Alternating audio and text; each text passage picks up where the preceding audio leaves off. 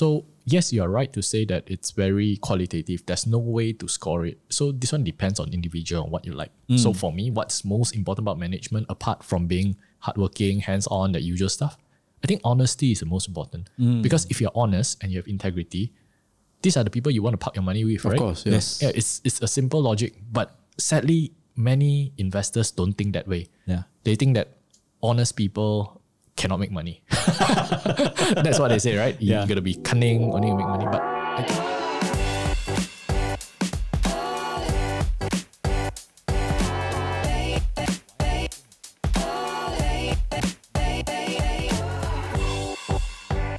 Before we begin the podcast, have you gotten your free ebook? It's called the Build a Six Figure Portfolio Guidebook.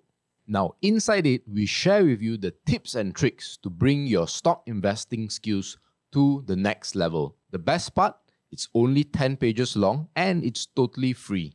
Whether you're on Spotify or YouTube, the link to download is in the description, or you can go to www.firl.co slash F-R-E-E or www.firl.co slash free. Welcome, welcome, welcome everybody back to the FIRL Podcast, best place for long-term stock investors. Now today we have uh, a legend, or at worst, a legend in the making. He is uh, a lawyer. He is an investor. He is also an author. So John is showing the, the book. Yeah, right? it doesn't Once seem to want to focus. Uh. And he's actually a very mysterious man, right? Many know him by his uh, uh, online moniker called uh, Trade View. that's right. But uh, Mr. Ng Zhu Hann, welcome to the podcast. thanks MJ. Thanks John. Finally, everyone knows what you look like. Yeah. that you are actually a real person, not an AI bot, right? And you know, we're gonna get into so many things, and usually I like to introduce our guests fully, but I want you to ex- basically share with us not just what you do and uh, what you do currently or what you plan to do, but really walk us through um, from the beginning, right? Your your background and also how do you come in contact with the world of money? I think uh, if those who have read my book would know that uh, uh, I was blogger. I actually started out seven or eight years on i3. But of course, the reason why I blocked under TradeView was because of my corporate role. So uh, I was a lawyer by training. So I was under employment. Then later on, I was with uh, top management of some of the companies, local and uh, for uh, Fortune 500 company. Uh, so there were employment contract terms that requires me to be strictly uh, professional in my job. So whatever side hobbies, right? That would be a bit of a contradiction if I were to reveal myself. That was the main reason why I used uh, my pen name, like TradeView. But uh, of course, it was only a hobby. I never expected it to grow to become a book, right? So uh, today I'm here is because I'm already under my own employment. I'm working for myself. I'm building my own business, so I don't have that restriction of the employment contract. So it's not that I wanted to hide behind a name or or because I was an AI bot. ah, You know, I would love also to to to share. In fact, I, I thought about putting my name on the front cover of the book, but no one knows who I am, right? Oh, not anymore. Not anymore after anymore. this. so I thought uh, TradeView w- was a more familiar name. And of course, as a blogger, when you use this name and people is familiar, of course, you hope that uh, the readers, you can have greater outreach. And a lot of my own personal stories are in it, but mostly about my investing journey and of course my thoughts on money. So before we go into your investing journey, right, we always want to know what were you like when you were young, right? Because you know you have uh, people like Warren Buffett, you know, seven years old, start buying stocks already, Yeah. or ele- was it eleven? I can't remember. And uh, what was what was your views on money? How were you raised when it come to money? What was your background like? I think uh, like a lot of middle class children, right? So I had a very thrifty father who was actually, I would say, brilliant in managing the com- country's, uh, sorry, the family's uh, finances. Oh, you were, your father was managing the country's. Very I'm just rich kidding. Finance minister that we do not know about. just kidding. uh, the, the house, uh, our, our family's finance minister. Mm. So I think because of that, you can see the quality of life improve over time. I see. I, think a lot of people back at our parents' generation, they're all salaried. Uh, very few are Yes. big time entrepreneurs. yeah. So the only way for a middle class family to really break out of the cycle of poverty is truly through thriftiness and saving. I That's think right. that, that is a prerequisite. anything extra like you know, being able to land a windfall in whatever investments or what that that is not very common back in the days. And of course, also because Bursa itself was developing and there were very major up cycles and down cycles, not as stable or as low beta as what it is today. So then, of course, it rubs off on us. So I always like to share this story lah. when I, I also spoke on uh, TEDx once or so. So I, I, sorry, twice. Then I always share this story. is the Vitagen story and the Kit Kat story. So we were growing up. My parents always wanted us to learn about the importance of appreciating what you have. So the Vitagen is five in a pack. Yeah, that's right, It's that's still right. five in a pack. Correct. So one a day for five days. That's it. On week weekdays only, lah. Yeah. Then weekend no more. Wow. Uh, So weekend is grocery run, right? Yeah. So Kit Kat, there's a four finger Kit Kat bar. So Oh, yeah. My sister and I will have to share Share. just two. so once you finish, That's it. It's not that we were so poor we couldn't afford it. It's just that he wanted to teach us to appreciate what we have. So it became uh, sort of inculcated in us. So the same thing when you're given allowance or whatever it may be. Uh, we must always learn how to be more careful with our money. uh. So that has always been with me. But in terms of learning investing or investment journey, it was much later in, in my life. I see.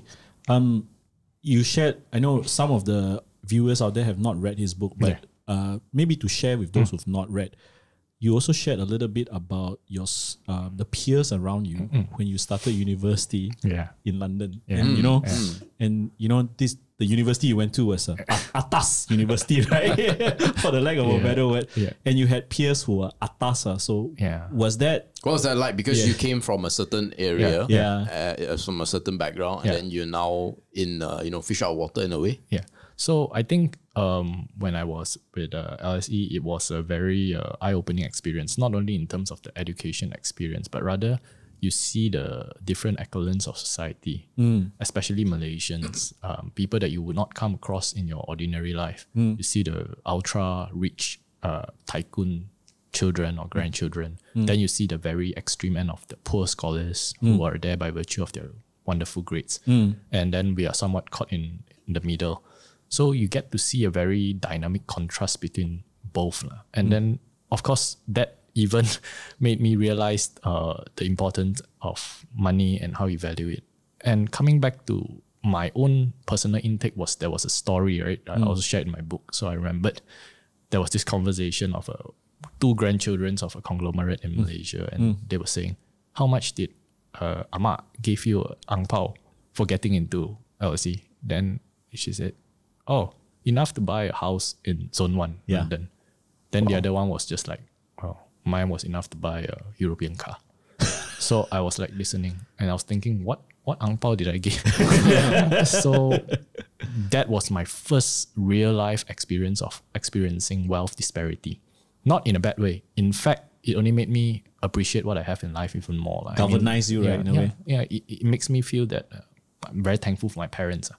Without them, I wouldn't have the opportunity to study, and without them, I wouldn't be able to have the at least the equal opportunity to pursue uh, my education at a, a good university. So I think it it sort of shaped my understanding towards how people of different background uses different uh, ways to reach their goals. And money being a defining item is not one that will define your life uh, perpetually. Great. Um, did you had any despise for wealth prior to that, or did you, or you never had that? You know, I don't think I've ever had that. In fact, um, I know that I wanted to work towards building wealth for myself one way or another, whether by virtue of my profession or by virtue of building a business. But of course, towards there, how to get there, that's uh, more of a discovery journey. It's not like uh, being handed down, tell me that, hey, you got this empire to run, go run it. It's not like that. And along the way, you just have to figure out whether, which, whether it's working for people or working for your own I see. self. Yeah. Right. I, I mean, so how then did all of that? Uh, w- was it during your uni days where you were interested in investing, or you were just having a little bit more fun? I think I think LSE was a very very uh, holistic education uh, experience because to be frank with you, um, it doesn't possess one of the best campus because in a city it's called city campus, so you don't have all the very nice greenery. Yeah, yeah, that's right. It's office. It's not like buildings. Bath yeah, something. it- correct. Uh, or even Cambridge or Oxford, right? Oh, it's so beautiful. It- It's not like that. It's a city campus, but when you're in the heart of London and city Lon- city of London is just a, a few uh, meters uh, down the road, you sort of uh, get uh, sucked into the whole wow the financial capital Yes, of Europe, right? So you start being exposed to it, and there's so many, so many events, seminar talks by these legendary people. So there was Soros, then there was of course Greenspan, and there was so many. Oh, you managed to attend, is it? some of them, yes, uh, not all, uh, because it's so hard to get the tickets. But uh, even Ben Bernanke came during the uh, 2000 financial crisis, and at that time he was the Fed uh, Yep. chairman, right? So it was a big deal. And when Lehman Brothers happened, I was right smack at the center because Wow. I entered at 07 and the crisis started in 08 and full blown out uh, 09. So throughout my whole university experience, it was during the meltdown. So although I didn't experience 97, but I experienced the GFC back then in uh, London. So what was that like? I mean, just just curious. The Oh, city. it, it was really quite bad. Why I said bad? Because even our seniors, right, it's so hard to get a job. I remember one, he did an internship at Lehman. Second year, brilliant guy, first class honors and all. Second, uh, third year, he got a full offer to join as an analyst. Wow, everyone was patting him on the back. Next thing you know, he lost his job before he even started. wow. Imagine you work your whole university, and after after you graduate, you're jobless. Yeah. And then the careers fair usually bustling with people hiring and everything. It was really uh, wow. It was really bad. Uh, high recruitment in itself wasn't the same. Everyone was worried about not getting a job. Not I'm not even talking about international students. You hmm. pretty much don't have much a chance. Even the locals also. the locals, yeah. So many of this investment banker aspirant because uh, LSE churns out a lot of these fund fund managers and all these financial geniuses, right, to work in the in the street none of them at the point were were positive or at least optimistic that they would get a job. So Okay. that was how bad it was. So do you decide to leave then the country to come back, or do you still feel like many of my friends do when they study there that hey maybe I should like stay in the UK for a few years so that you know I can say that I've worked there worked internationally before. I think if there was a chance, I may have, but I don't think I was at that caliber at a point in time. Another reason is because I wasn't a financial uh, finance major. I was a law degree holder. So when you talk about law, it's even harder if you want to be a practicing lawyer in uh, the chambers back in uh, London because they are limited in numbers, not only for international but local. So I went to Singapore. I see. So I, I was at Singapore as a lawyer for several years. Yeah. Right. So where where does investing come into all this, or is it even later? that- No, it was actually in the university. So that was when my first uh, experience. Of course, all these dignitaries or these uh, financial legends, they were there. They started to get me more interesting, uh, interested about the world of finance and and of course your classmates. And I also took a, a, a course in economics. Ah. So in LSE, so when you get a course taught by some of the best economic professors in the world, oh, that was a, a, a different experience altogether. You see things very differently, and that perspective will stick with you whether you are a financial major or not. So a lot of people listening to us are not, uh, you know, obviously Not don't from get to high study, finance, don't yeah. get to study at LSE. I mean, let alone high finance, Yeah, right?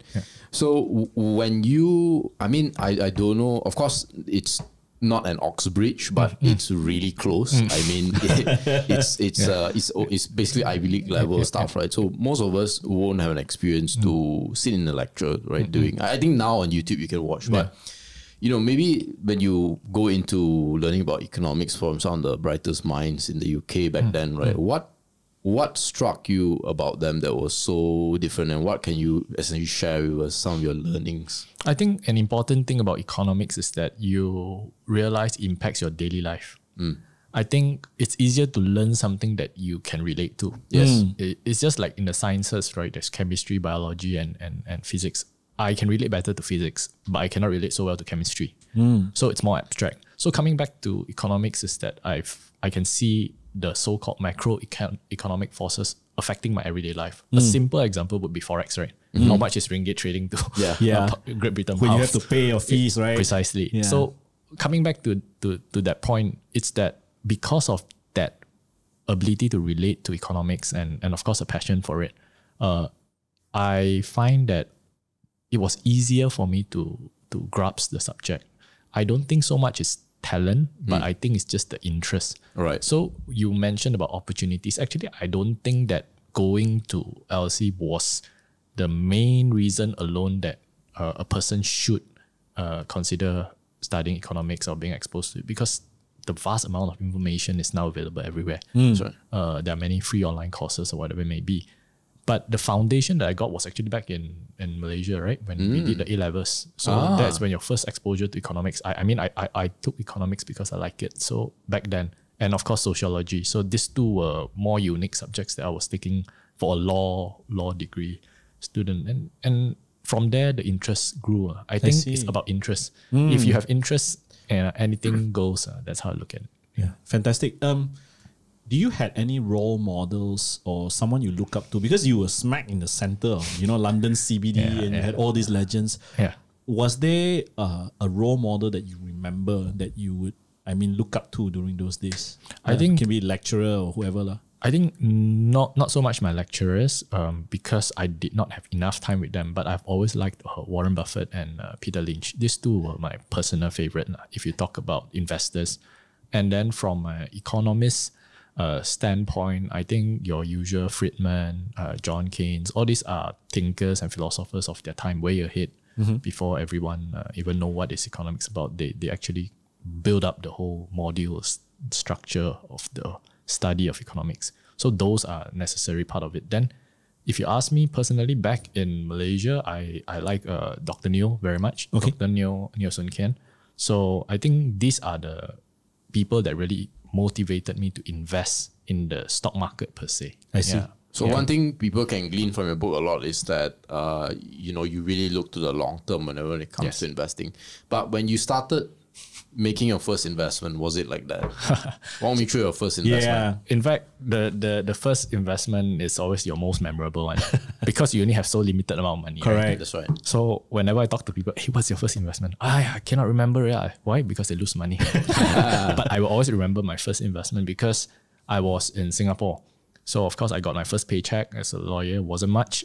Then uh, at that point in time, I think iPhones weren't still the main main uh, uh, what what do you call it Mobile The devices, mobile devices for MRT usage at that point in time. Hmm. So I was carrying my usual Fortune and Forbes magazine, and I came across a company called QL.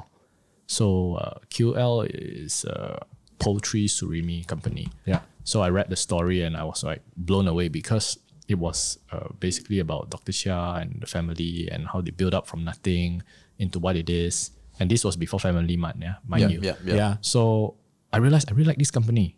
So I want to be part of it. How can I be a part of it? The only way is to invest in its share. So I checked how much left uh, uh, from my savings uh, after my first paycheck, and I started plowing to the company. And uh, it just kept on going each month, and I just buy the same company over. Oh, so it was one stock in the whole portfolio. yeah, because you don't you don't have that much, right? Wow. Yeah. So I remember the salary was only a few thousand back Yeah, yeah, then. yeah. So whatever that you had, you just buy. Uh, I mean, after minusing your expenses, you just buy the same company, just same one, same one, same one. Actually, I like to peel a little bit on this. You know, a lot of people hear common advice about diversification and then Yeah. getting all this Yeah. right. And here you have Yeah. A great example of a focused portfolio. Yeah. Even though, yeah, obviously you don't start as much, but Yeah. what made you not look at other stocks in a way? Because I don't know anything about stocks back then. Mm. I, I mean, I do not know enough. Uh, the universe of stock market is very big. Mm. I know I can read macro trends quite well because mm. of my economics background. I know how the stock market function, but I do not know how to invest in stocks the right way.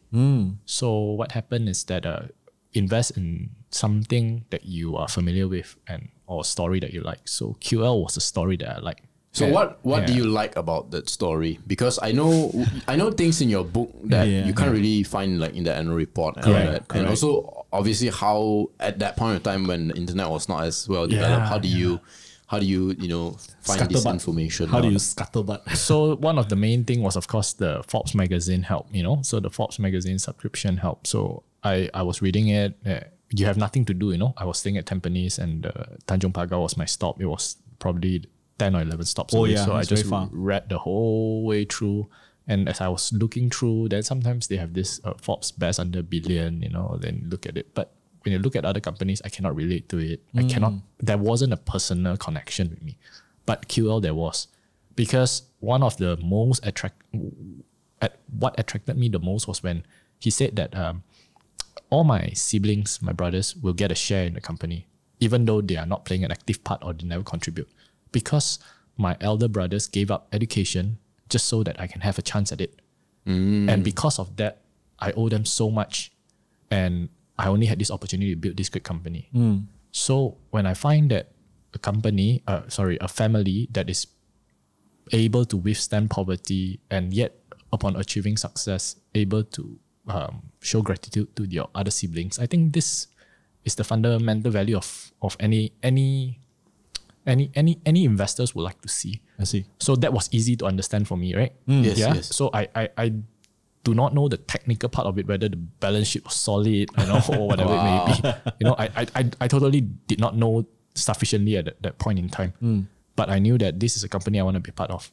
You know, so I just put the money there and I never expected it to be what it was years later. Wow. Right. So every month you just feel like, okay, QL, Yeah. where's the QL money? Where's Yeah, the QL money? correct. DCAQL, not DCA. That's really good. And I, I know, you know, before this we're having that. Uh, to, to, I think this is a cool fact for all the the the listeners.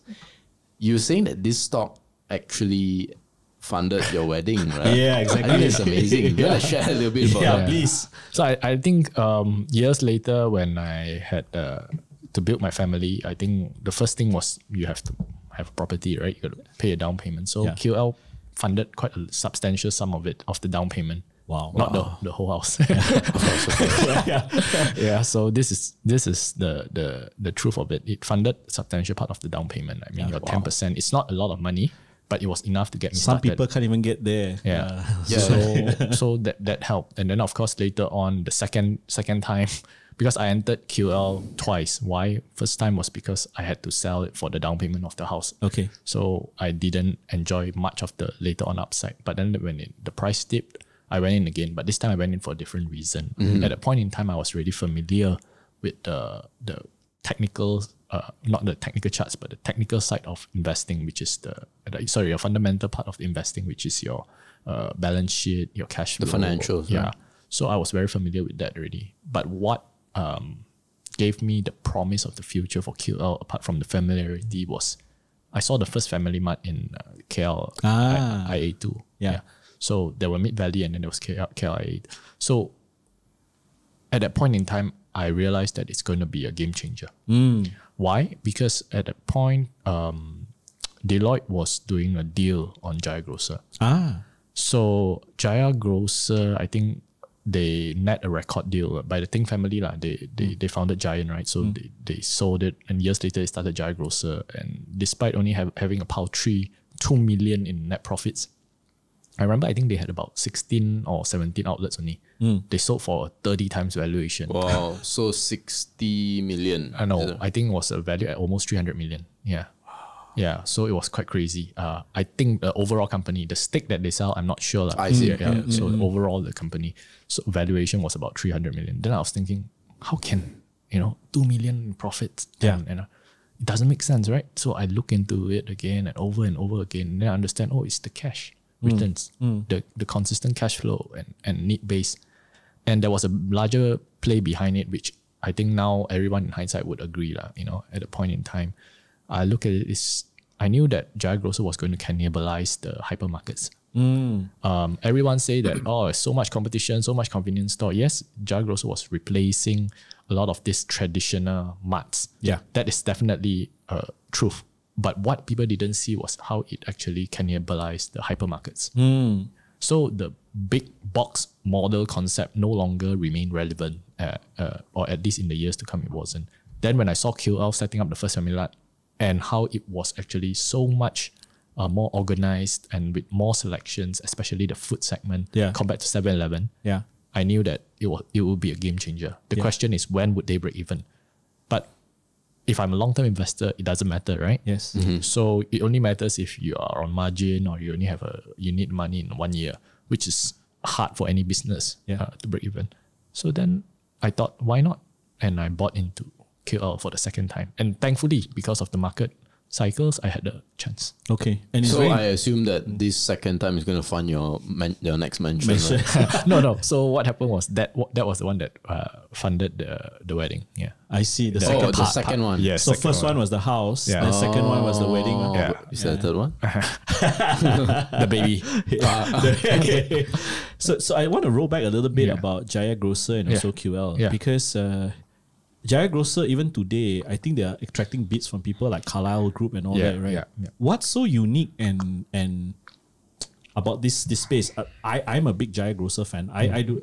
MJ knows this very well. I do the groceries every week. Yeah. I, I virtually love Jaya Grocer because queues are short. Yeah. Besides the cash flow, what do you think? You mentioned about big big box model doesn't work anymore. What makes Jaya Grocer so unique? I think ultimately how it uh, now convenience mart is competitive, no doubt. Even before Jaya Grocer and everything. Mm. Mm. Question is who can make it the cleanest, the most convenient, and most organized. In out, get what I want and get out. Mm. So I think the price that people are paying on the premium for Jaya Grocer because Jaya Grocer is not exactly cheap. Like, Yeah. It's not as, as expensive as Mercato and, and some of the bigger Or bands and uh, all the that, bands and all. It's not that premium range, but it's not as cheap as your pasar. You know, so what people want is clean convenience, especially the newer generation, and they did it very well. Hmm. I even remember the first outlet at the the Mutiara near near Tropicana. They the security guard was facilitating the traffic parks in out in out, and it was non-stop. They were very hardworking. I think these are the little things that that the management paid attention to. I think probably the Ting brothers did very well. I don't know them personally, but uh, if you follow their track record, Hero Market is is is is theirs, Ace Hardware is theirs, and then their success story from Giant. I think some people are just meant for certain business, and Oh, yeah. this family is just successful in this business. Yeah. The question was whether QL would be able to replicate for Family Mart. Yes. That was always something of concern uh, for me. But I think if you believe in the management of company, which is the, the, the crux of my investment style, I think generally a good management will be a good management in any uh, business that they touch. And I'm sure they have given lots of consideration before diversifying. Yeah. So coming back to this whole Jaya Grocer, do I think that it's still worth what it is or is it worth more? I think the next game changer would be how they tie up with your so-called uh, startups, uh, tech startups. What do I mean by that? Think about your Amazon, right? How they do an end-to-end.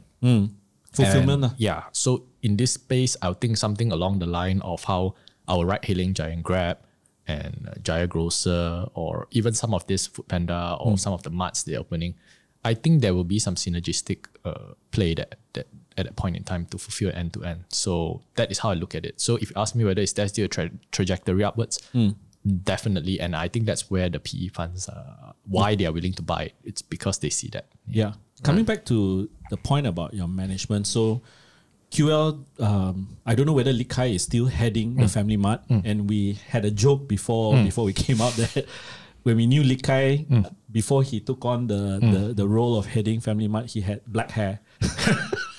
and, and today is almost all white. You know, it's a compliment to you, Lik Khai if you're Yeah, hearing. yeah. But if you did not meet them, how would you gain confidence? So let's just say you find a new company, let's say company X, right? Hann, how would you judge management today? I think it's very simple. Um, the first source will always be your annual report. Your reports are the one that will give you a lot of uh, idea of how they are. I've never met Hartalega's management, but it's one of my favorite company of all time. Um, not everyone have the opportunity to meet management, especially retail investors. Hmm. But I mean, thankfully, thanks to all the brokers these days, they do a lot of this corporate management briefings to all your investors. You Yeah. know, so that that has changed a lot. But back then, is that you have to look at the annual report and you match what they say. Hmm. X year to this year. So 2019, what did they say? 2018, what did they say? 2015, what did they say? Did hmm. they fulfill their promises to you? Did they uh, oversell or over promote the company? The biggest no no for me is over promotion or exaggerations. Then later on, finding excuses of why I did not do it. and whatever moves that they make, corporate moves, it has to make sense. So, for example, everyone were there were a huge storm about QL in the forum at one point in time. I think I had only probably one ally there when I when I started writing who really believed in QL. So majority was saying, ah, why QL doing surimi? You go diversify into Family Mart and everything. But when I, I read, I- understood that it's because their big client was Japan. They were selling to a lot of all these uh, uh, uh, uh, the, what you call it, the retail chains and everything. So they had access and opportunity to the management of uh, Family Mart in in Japan, who took their products on and and sold in in Japan. So that was why there was a natural uh, diversification, and of course, the story is what it is today. QL had a valuation expansion. Yeah. But did it make sense? Well, very simple. At one point, it was always trading at 20 times, 18 to 20 times for Surimi. Okay. And then it couldn't go any higher. So, what was the next catalyst? This. Then, remember, I said earlier, Jaya Grocer was 30 times Yeah, back then, right? yes, yes. 17 outlets or, and with 2 million profits only. Family would eventually grow to more than that store, right? Yeah. So would 30 times be outrageous? So you just take 20 plus 30. It's as simple as that. That Yeah. was my thinking back then. There was a huge firestorm and everyone saying, ah, you think you're a tech company, you know, ah, this is brick and mortar, you Yeah. know, all, that- all that kind of stuff. And then they said the online grocery will destroy this market and everything. But I think the market is what it is today. Sorry to interrupt this podcast. I know it's a little bit annoying, but I want to tell you something that I think can be really helpful to you. I can tell you're really interested in the stock market and want to learn more about it so that you actually know what you're doing, especially when today things are getting more complex and complicated. That's why we came up with the Stock Investing Blueprint or SIB. It's our signature e learning program that teaches you how to pick the right stocks most of the time, buy and sell it at the best possible time, and manage your stock portfolio systematically. It currently has more than 10 hours of content and it's growing. You'll also be part of a group of like minded investors that can help speed up your learning process. To hop on the program, click on the link in the description or go to learn.firl.co slash courses slash SIB.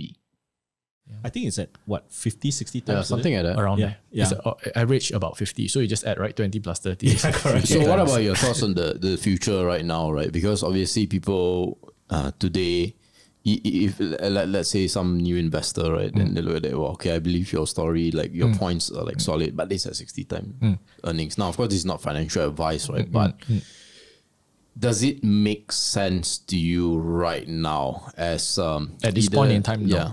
I, I don't think at this point in time it's not. you know, I mean, at this point in time, I will not be a buyer, but I will not be a full seller until I see how the tech space play out. This tech space meaning the right hailing potentially moving into marts. You know, they may have to make an acquisition at that point. Will, will they buy it at a premium or will they collaborate or they'll buy a strategic stake? I don't know. That will um, f- further uh, unlock or be a catalyst towards the, the the model of it because to be frank, offline and online will always be the best combination. Yeah. It's never uh, either or. Yeah. You cannot rely solely on that. You cannot so they will always have a role to play. Now the only question is how fierce the competition because I'm sure you all know that by now Korean marts are coming in. Oh, My yeah. News, yeah. Yeah. Thank you, Yes. My News and eMart 24 and all. So these are big players coming in and Korean waves are global, right? So uh, will Korean marts do well? I think they will. Uh, do they have a place to play in Malaysia? I think they do. Uh, well, how well will they be executed? It depends on how much you trust the My News uh, uh, management. Management. I think My News is a, also a very successful story. The Dang family is is brilliant in, in building the business from a simple uh, newspaper stand to what it is today. I think um, if they can find synergistic uh, points of, for example, closing non-performing My News store, replacing with, with, with the Korean marts, and achieving some balance there, uh, they may also enjoy valuation expansion. So if you ask me, is it the time to look at QL at, at this point? It has came down a bit because their recent performance weren't good due to the pandemic. It's not pricey as what it was.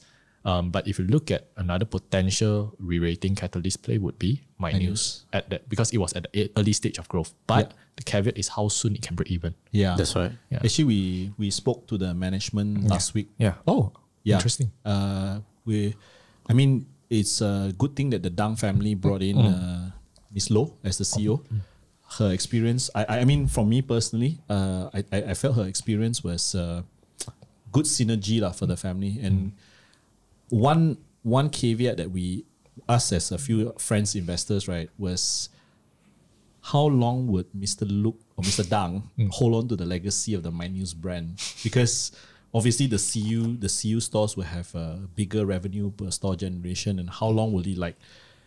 emotionally attach that brand uh, rather than you know convert everything. But they gave us a very logical answer. He said, not everyone will accept a CU store because if you go to a slightly more rural place, the offerings may not be something of a palatable thing for the yeah Crowd, I see. yeah Yeah, that, that makes perfect sense.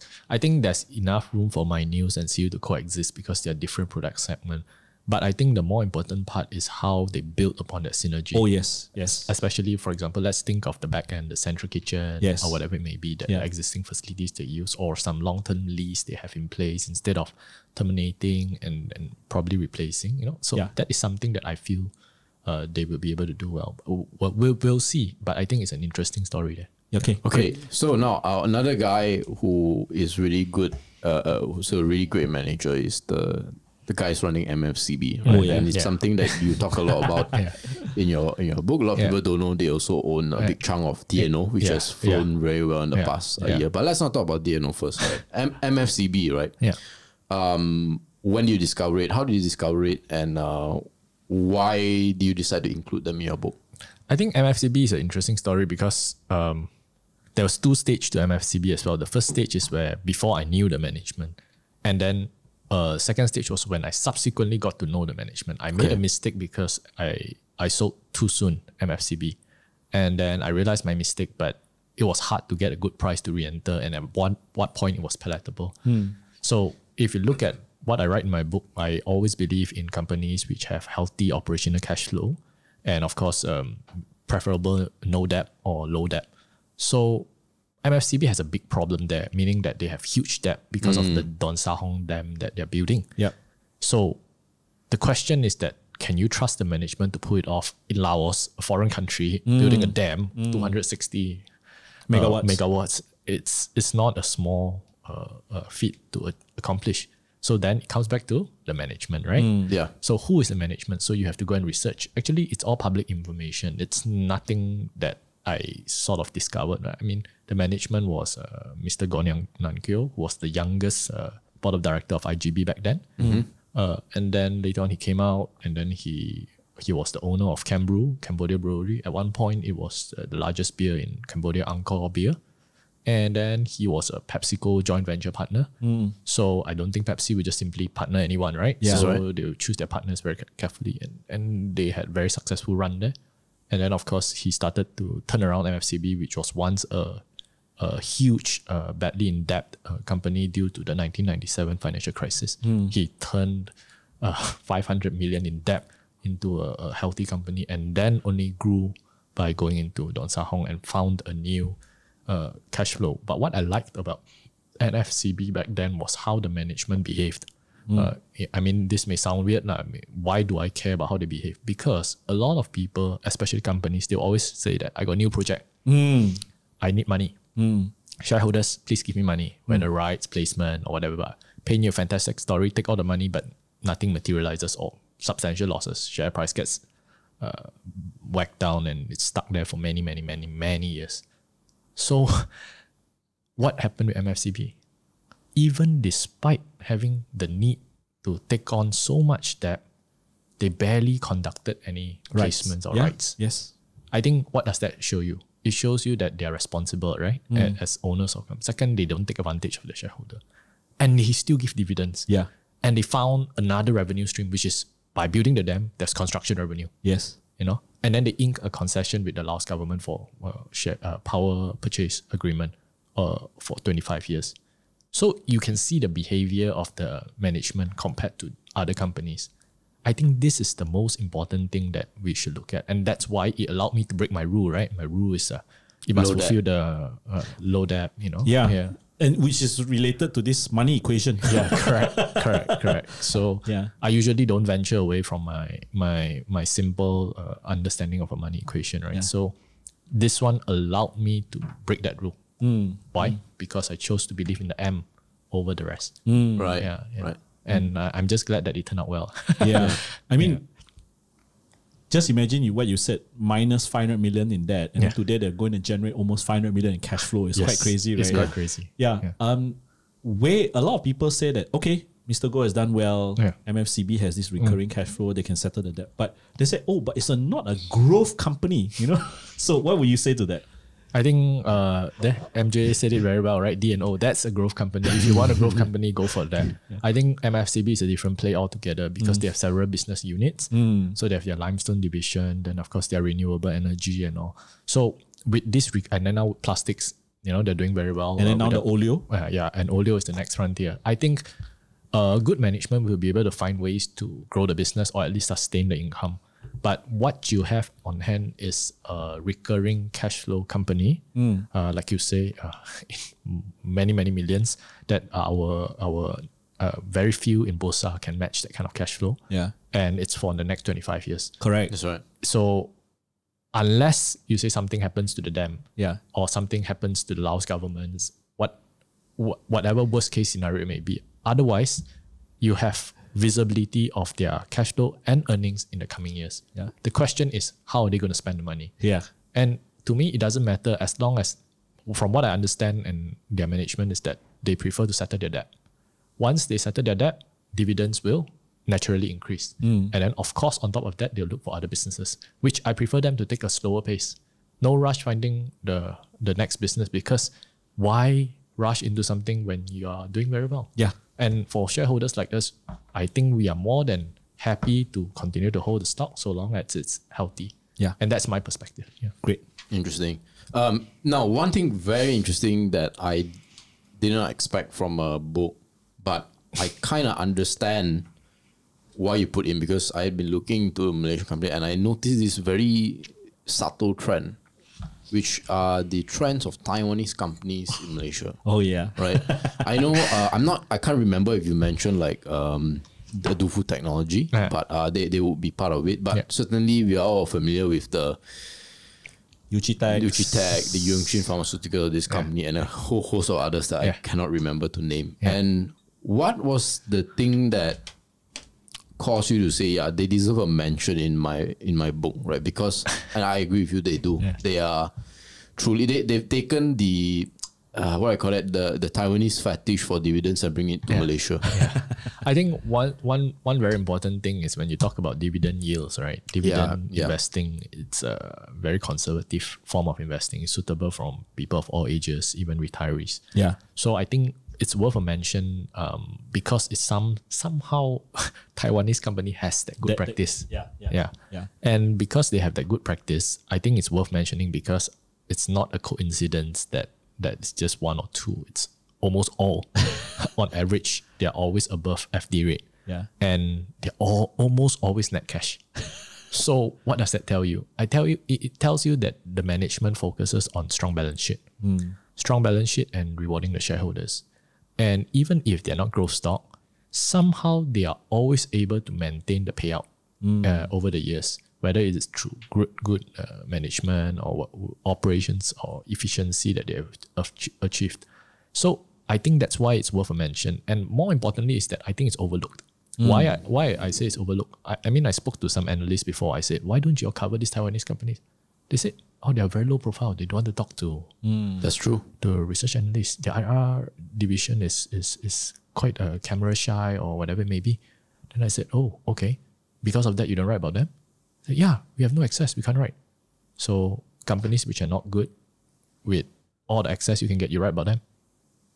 So this is what I'm. This is the point I'm trying to get get mm, across. Mm, mm. Just because someone want to talk to you doesn't mean you should write about them Yeah. you know and just because the company don't give you access doesn't mean that you shouldn't write about them i know it's tough to get the information or whatever it may be but then try it at the agm or whatever it may be the fact of the matter is that good companies and the owners at times are not the showy or Yeah. over promotional because only those who needs to sell they have to sell if you're good you don't need to sell that is how i look at it and that's a whole value investing kind of standpoint or mantra Yeah. i may not be right you know but that has worked for me and similarly my style may not work for everyone and i don't advocate it to everyone it's just that i realize that's how how it is Actually, you, when you mentioned this, remember Yeah. MJ when we met uh, Mr. Yo of Dufu?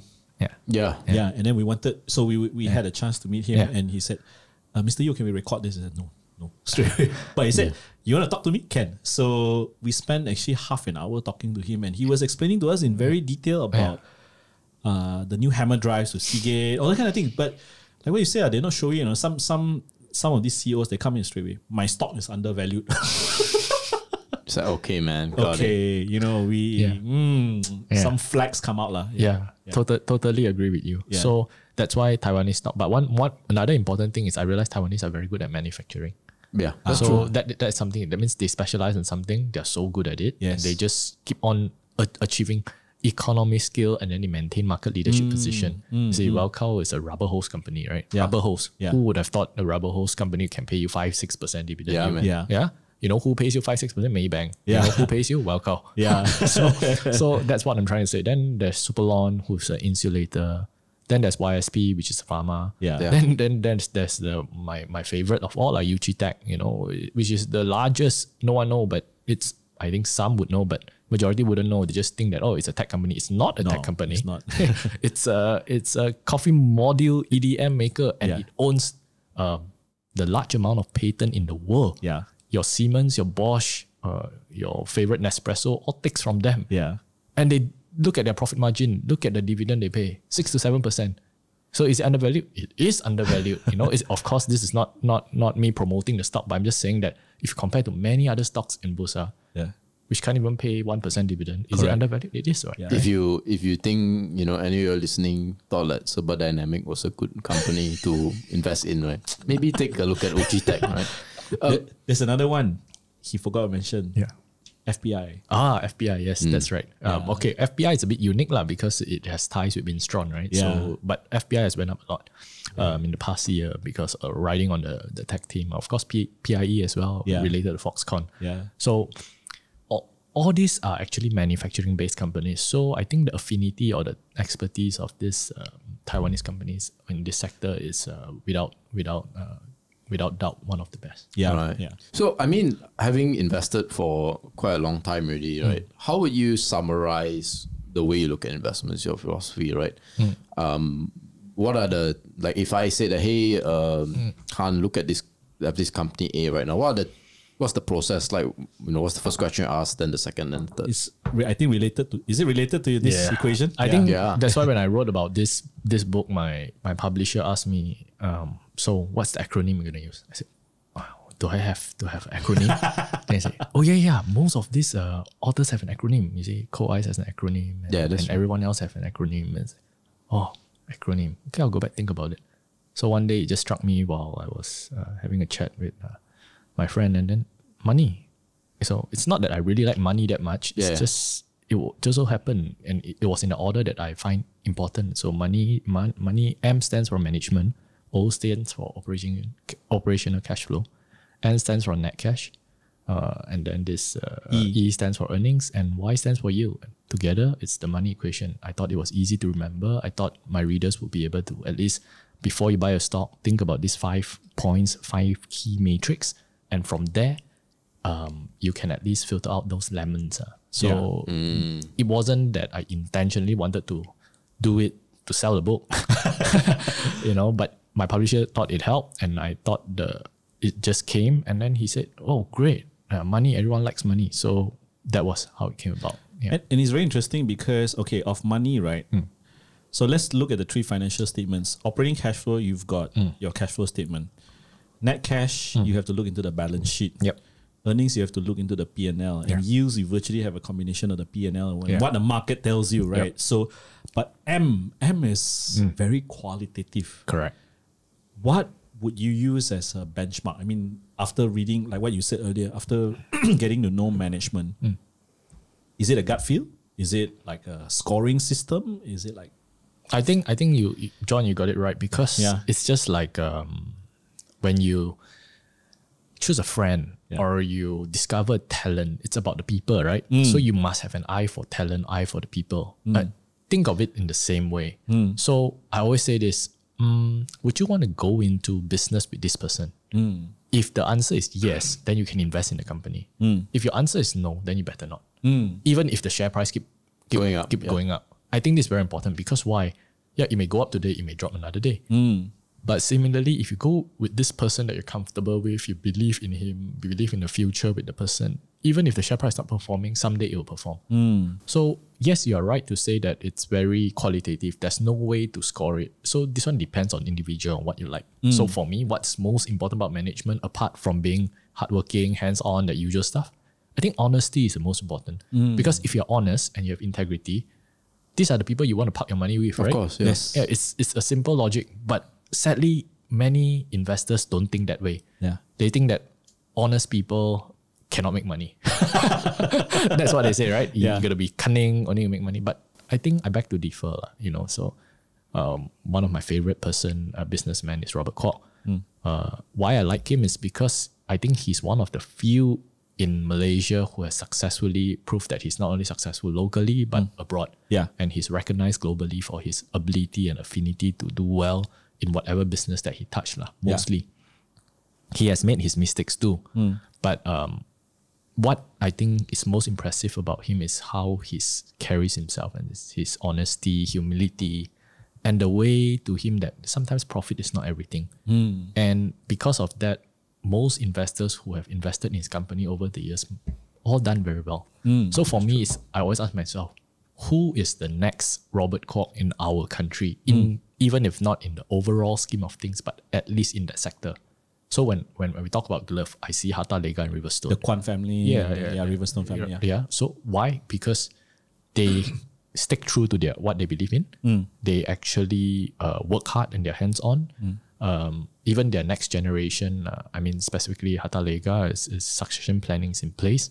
So these are the qualities I appreciate in companies. Mm. So if you go to another sector, you look for the same thing. So I saw that in KL, then MFCB, I saw the same thing. Mm. So it, it gives me that kind of comfort to put my my life savings in the, in these companies. I Yeah, see. I see. That's a good segue to Wilmar.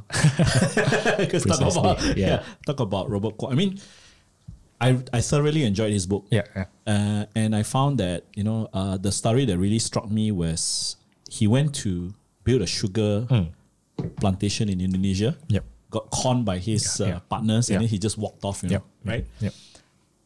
how many what what makes you think uh, or what do you think about why Malaysia not many Malaysians will be like Robert Kuok? What what do you think is the thing holding them back to emulate another Robert Kuok who is willing to cut his losses, never mind that people bully him or took advantage of him and, and move on? Why, why do you think that that is the case? ah? I think uh, most people, I think myself included, that if you have to suffer a loss due to being swindled or whatever it may be, mm. it's very hard to swallow, right? Mm, mm. So I think people like Robert Kuok, they are rare.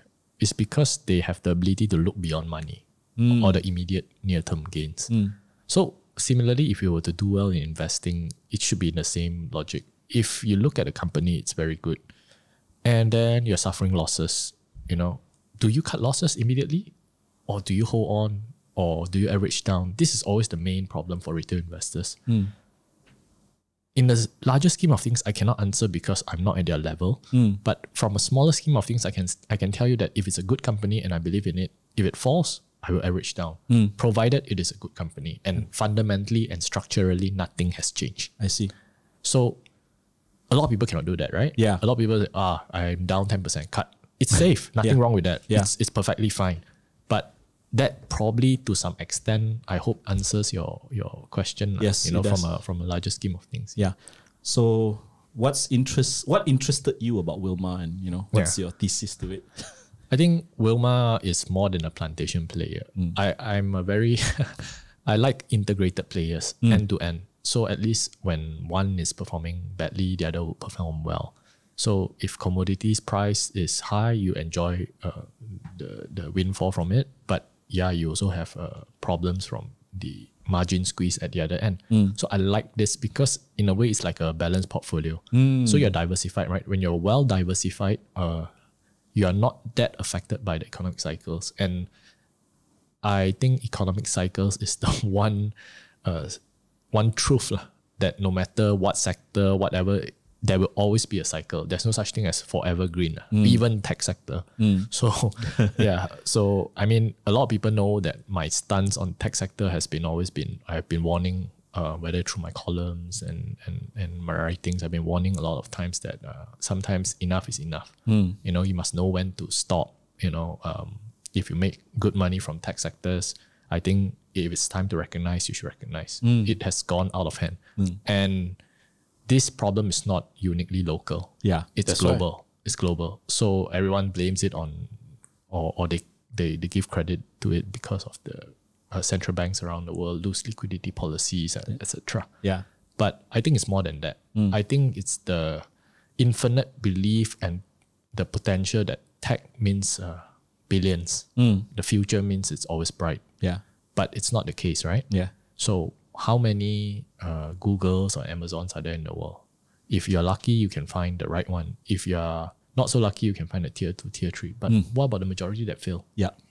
We, we, WeWork, remember WeWork? Oh yeah. Yeah, that is a spectacular example. It, it was also backed by SoftBank. Yeah. But how many investors lost money on WeWork? Correct. Correct. Yeah, so that is how I think that uh, investors should a bit be a bit cautious. Yeah. And it, it also, you know, um Yeah. Wants me to probe a little bit more about this point about you your portfolio doesn't really cover much on the semiconductor. Is it your belief that overall the valuations are just too expensive or you just find that the businesses like it, it will always be overpriced, that's why you never go into it. What what, what will be your take on it actually? Actually, if you look at semiconductor players, they are all very run by very skilled and professional management. Hmm. That one we have to give it to them, lah. And uniquely placed uh, in Southeast Asia, in Penang Island, you know, all these are advantage laid down since Tan Sri, uh, sorry, Tun Lim Chong Eu's Yeah, days. Yeah, correct. so we have to give credit to to the ecosystem itself. But is it worth as much as what it is today? Is it supposed to be at such premium? I do not think so. Okay. Reason is because um, it is not a disruptive technology. Mm. It's not a game changing technology. It is a manufacturer. Mm. And at times, when we look at manufacturers, the capital intensive requirement for reinvestment is still applicable to them, right? Yes. Whether you are maybe lesser in a lesser scale. I just saw the news this morning. I think Pentamaster is expanding 120 over million mm-hmm. uh, you just check back the past five years combined, I think did they make a net profit 120 over million? No. So this is something that that I'm trying to convey. Hmm. So probably they took five years of profit or four years of profit to plow back into reinvestment. It means that it's as capital intensive, if not more, hmm. than some of the sectors. Will they do well after this? I believe they will. Hmm. But to what extent? Yeah. So this is a gauge that's very difficult to say. And another thing is, it's not that I don't believe in in semiconductor. Uh, in the early days, I I also had Frontken. You know, um, I bought it and uh, I held it on uh, for quite a while. Uh, I did very well. One of my better performer stocks, but after a while, I felt that the valuation was too high. So of course, I understand that a lot of fund managers in our country, uh, especially in uh, if you invest in unit trust, you would look at the growth stock. You Yeah. look at the portfolio. It's always that few. You know, ViTrox, Frontken, and all. Recently, of course, the past few years, you had UWC, Greatech, and all. Let's think back a bit. How much did they IPO for? Probably 17 times, 16 times. Yeah. Yeah. Why Multiple. would they? Why did they IPO at that price? If it's worth so much Yeah. today, Yeah. that is a question we must ask ourselves. Mm. Did the investment banker sell their client short? Or did the clients at that point in time think that 17 times, 16 times was a great valuation Mm. already? So if it's worth 90, 100 times, why didn't they IPO at say 40 or 50 times, half Yeah. the multiple of Half. what it is? Of course, you can argue that oh, we shouldn't use PER. Okay, fine, use PEG ratio. Mm. It's still off the marks. All of mm. them are still very, very high. Mm. So I think we are at a very unique time, and it's great that they are performing well because that means that whoever that invested did well, and I'm happy for whoever that did well. But sometimes enough is enough. So that is where investors must take note of it. I'm not saying that it won't go up any further. I'm just saying that upside downside, you know. Yeah. Risk reward. lah. So that's a very interesting thing, and that's one of the things I want to talk about, which is the you can say is the yield portion of Yeah. your money equation, right? Yeah. there are so many thoughts and views on valuation, right? I'm and I'm sure it's very smart people. I think listening to what you say would be like, no, uh, you know, uh, they would say, you know, these are very treasured assets, so they're not like a QL or whatever, mm-hmm. where you mm-hmm. know theoretically you can think of competitors coming in, where just tech so-called companies is a, mm-hmm. li- a little bit harder. What are your general like sniffing tools, right, for hmm. when uh, either either a sector or company is uh, undervalued? I think you did shed some light a little bit about QL, how you think hmm. that it's a hmm. bit overvalued. And And of course, you explain how you think that the semiconductor chain is in Malaysia is uh, overvalued. So, what is what what is that sniffing tool that you have to say this is overvalued, that is undervalued? Do you have rules to say that over a certain amount it's bad, or is there something else? I think, uh, of course, you must take into prospect. If you don't take into prospect, then you're not being fair to the companies. So I know why people always say tech companies should be worth more because of the prospective growth and of course profit margin and all and stuff like that. Uh, coming back to your question is what is my sniffing tool? I think at the end of the day, it depends on the barrier of entry of that particular sector. Is it easy to replicate? Um, whether uh, competitors can come in and flood the market, you know, whatever it may be. Alternatively, it's the the part of the future integral chain uh, of uh, whatever products that it's in demand. If they can be a part of it, then of course, then they demand certain valuations. But the question is, how much? So how do you see? The usual way is, of course, how many years of earnings? It's already factored in. And another question is to ask, how much is this not caused by macro policies? Because I'm I I always I think um, spend a lot of effort on macroeconomics, uh, probably because of my background. But the reason why macroeconomics trends are so important is because while it cannot serve as a definitive guide, but it can provide you a overall perspective of where the world is heading. I think if you can have that gauge, it will uh, trickle down towards your own uh, valuation matrix towards certain stocks. So I think certain things in this world are indispensable. I think certain things in this world can be disrupted and replaced. I see. So these are the things that how I used to uh, decide whether a particular stock is valued over or under, and if it's something of essential nature, um, how important is it that we need to live with it? So I'll give a very uh, simple example. with- Let's talk about glove. You know, so glove. Everyone knows that I'm a believer in glove companies.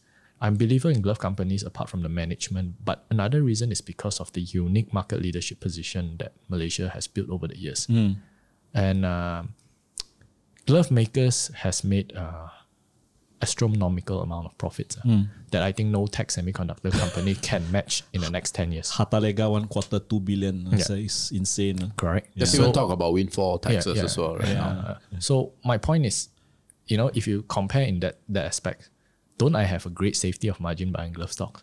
Meaning that every single year they can just have zero profits Yeah. and I'm still safe. Yeah. You get what I'm saying? Yeah. But the same cannot be said about tech tech Yeah. companies. You know, You know, and also, of course, we another thing we very important is that chips are always changing, right? Mm. So at this point in time, it was at one point thirteen, then ten, then Now five. So it, it depends on on on the progress, and if you cannot keep up with it, ultimately you will get phased out. Mm. And if you're unlucky, you buy the company that is eventually going to be phased out. Mm. Years ago, it was all HDD, right? Now it's no lo- longer HDD. Yeah. You know, so these are the things that you have to be very careful. So glove, I will change my will if someday they tell me you don't need to wear gloves. Spray. Yes, you spray on it and then suddenly that's it. Yeah. You know, I won't be surprised if Harta invents it. Well, if they do, you hold on.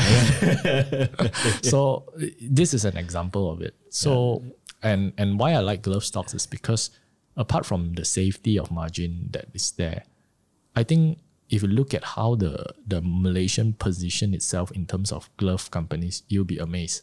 Because in my experience, I even had this uh, very interesting business deal. So one of my client from US, um, Premier Inc., uh, at a point is one of the largest buyers of gloves and uh, medical supplies and supplying to all hospitals. Okay. About four or five hundred chains under Yeah, them. yeah. They came to Malaysia and they were knocking on all the doors of all the glove makers and I introduced them to one of the companies and during the meeting they they hands down they said that Malaysia's quality is the best. Mm. No one can compare. Mm. They don't deny that.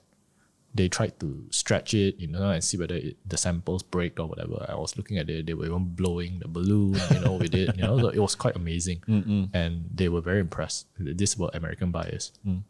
Then they talk about pricing. So they say, oh, China is cheaper, you know, and stuff like that.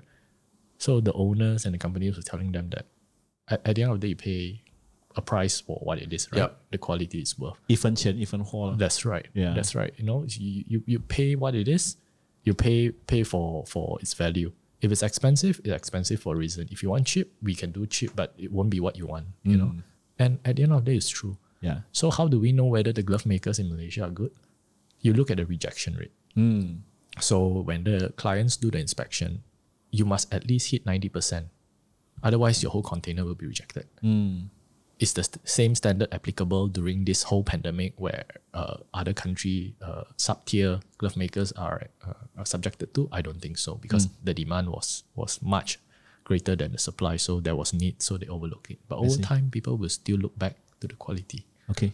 And this is not only from the American buyers, but also the French defense uh, uh, uh, uh, corporation subsidiary that, that also approached me to reach out to one of the clients. It's the same thing. They said, I only want Malaysian gloves. Wow. So Europe is like that, US is like that. So unless the Chinese uh, glove makers can actually improve their quality, which I believe it's a tall order because um, it requires a lot of R&D and also because if you're expanding so fast, you're only focusing on volume, you're not Yeah. focusing on the quality. That's that's the nature of, of, of any business.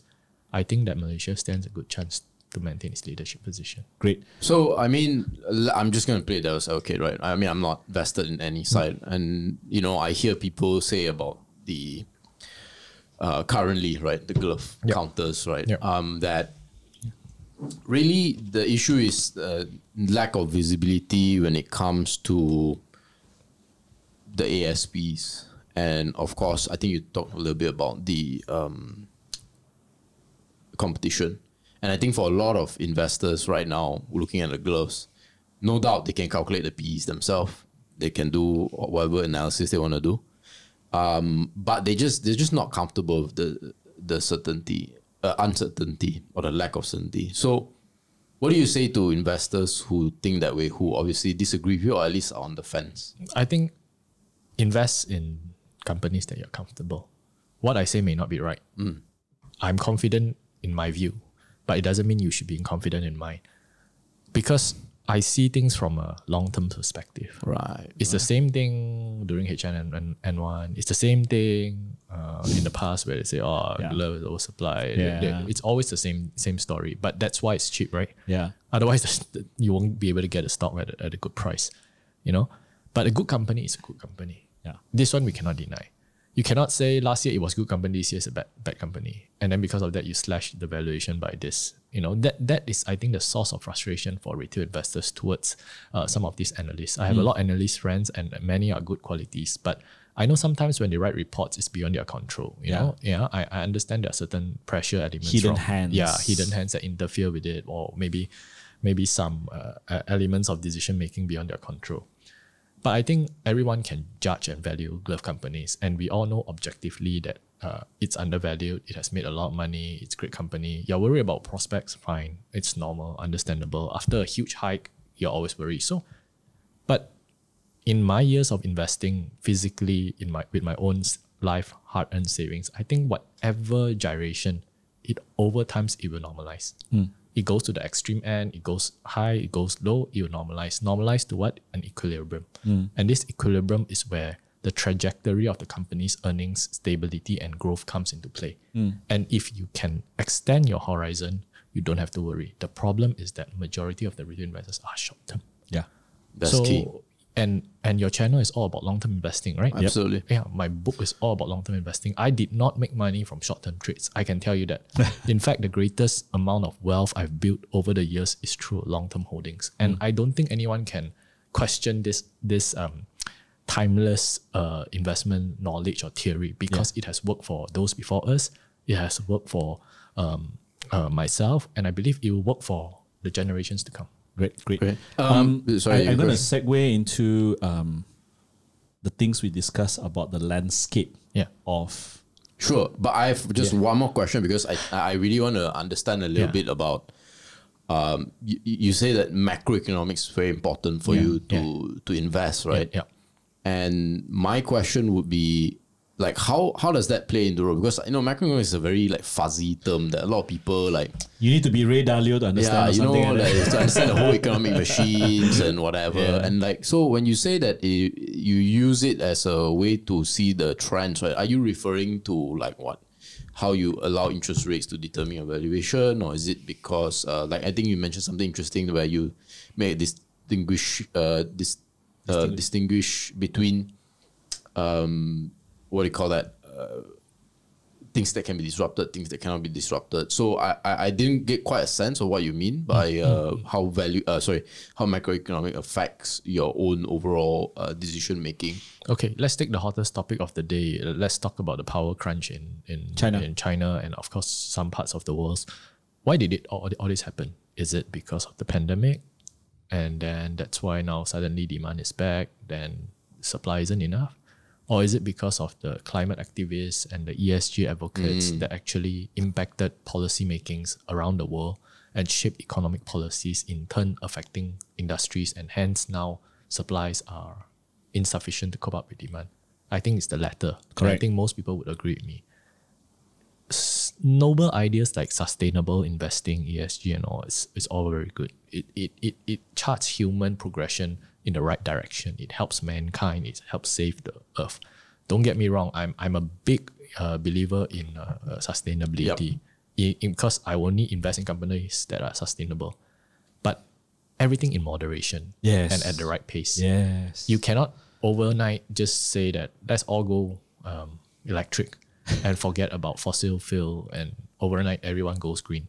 I know they all set the target 2030. 2050. Yeah, I know we, we, we all know know that, that that is the right direction to head to. But have we at one point pause and think about what about the damage that uh, battery that's caused uh, for EV? Yeah. nickel, copper mining, all these are all all uh, important uh, elements that are required in battery for EV. Apart from that, charging station, how many charging stations required to be built? And where does charging station gets their power from? The power grid. Where does power grid uh, generate its power from? They still use coal. Yeah. So are you ESG compliant or are you not? so that these are the the, the rhetorics um, that right. of course people can put forward.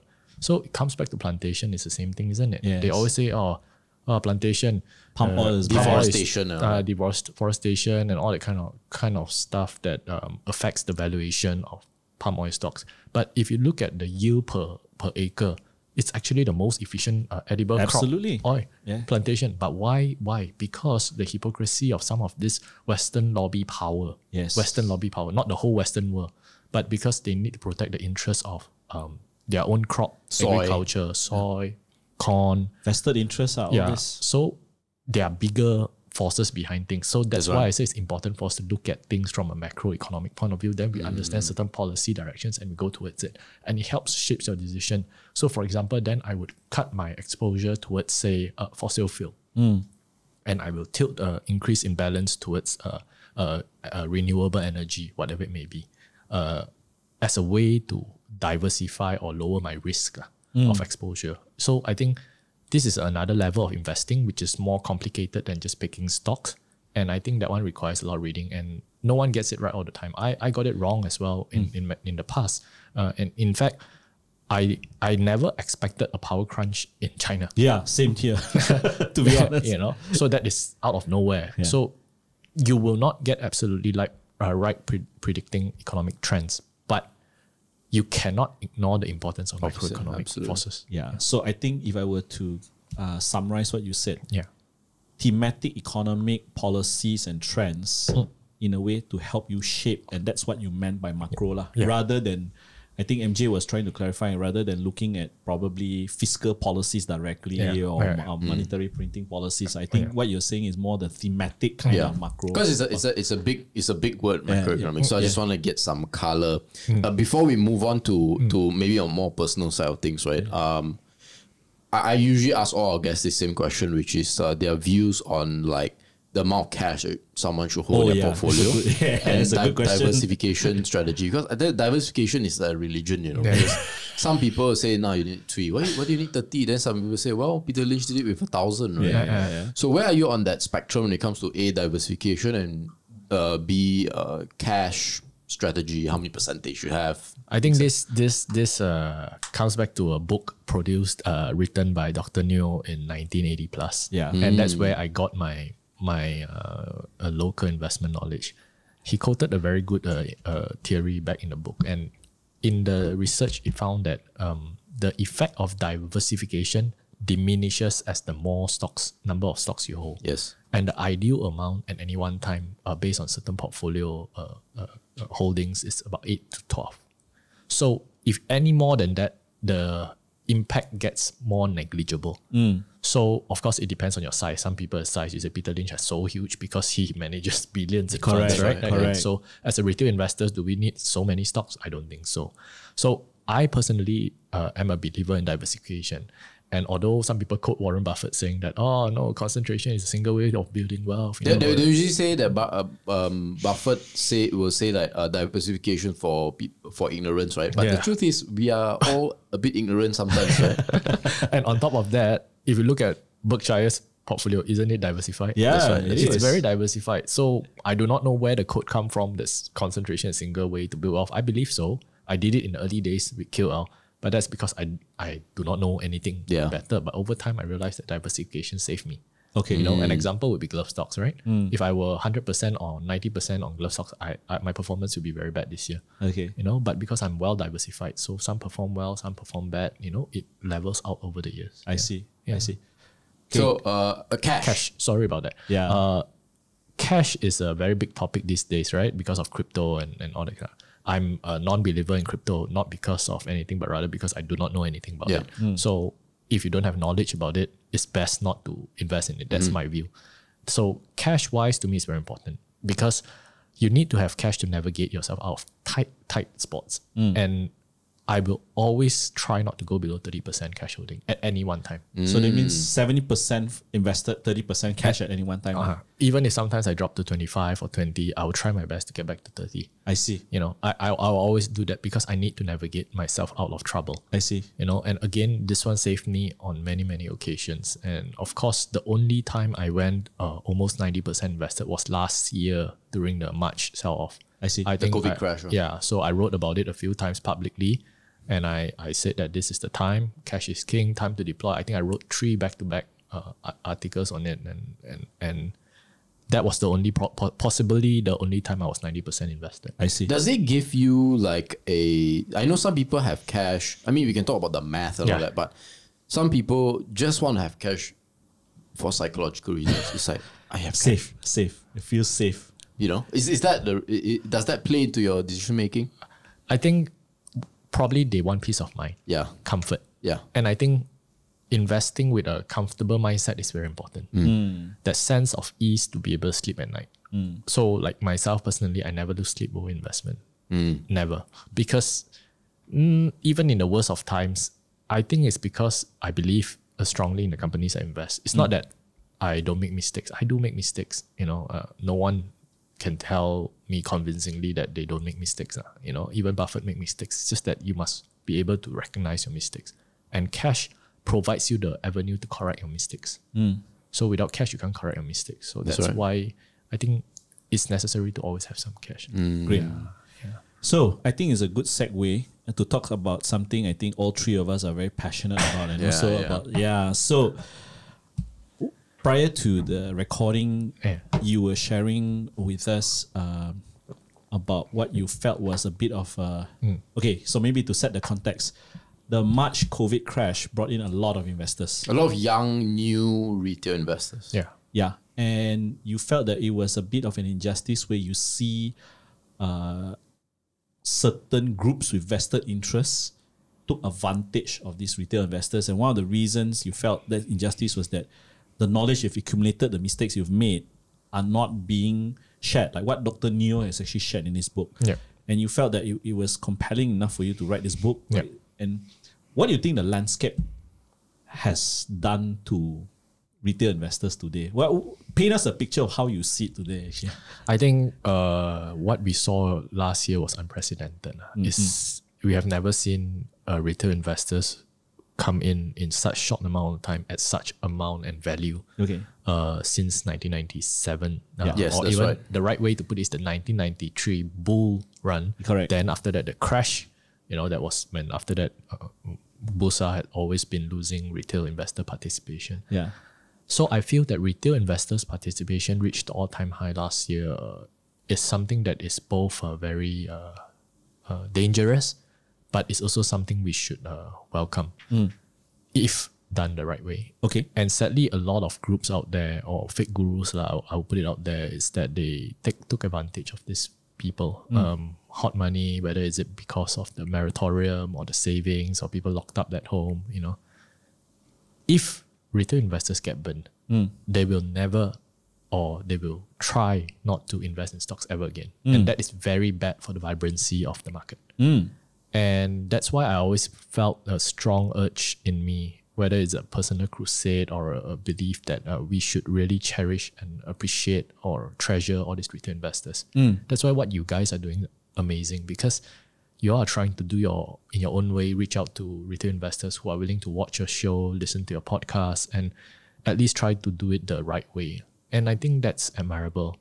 But there are at the same time groups out there who are just trying to milk these people after you know saying that they are value investors and fundamentals but what they preach and what they do is different then they take your money and they go and buy sports car and splurge on on rolexes or whatever it may be i think that is everything that's contradictory to being a value investor and it's very sad because these are hard-earned money by retail investors. right. Yeah, That's right. It's not everyone is born with money, and mm. I and we all know how hard it is because Malaysia is not a big country. Population is small. The si- circle or, and or I would say the supply of money is limited. It's not like US.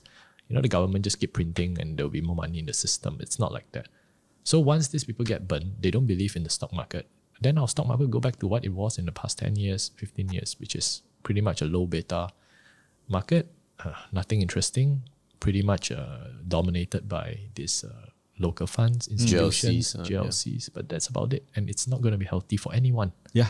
And we talk a lot about financial education, financial literacy, but I see a lot of private sector doing their best, like yourself, you know, and, and some of these other authors. So when I decided to write, I felt that, okay, let me write something based on what I believe. And if the readers like my book, they will adopt it or believe it. At least I share what I, what I think is right. And with a good heart, lah, I think a, a good intent, sorry, and a, a, a clear conscience, I think that's all that matters to me. I see.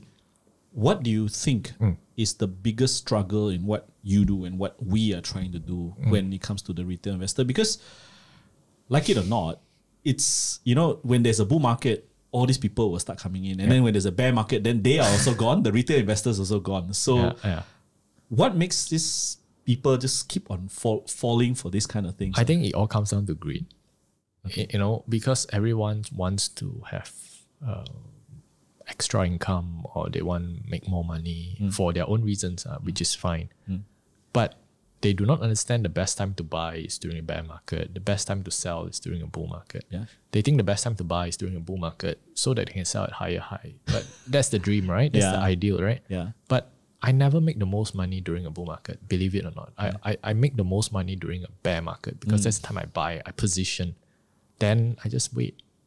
You know, it has served me very well um, over years. But like I say, it's over the years, not over months, not over days. yeah, And some people say that uh, I'm not a believer in technicals. That's why I'm unable to do that.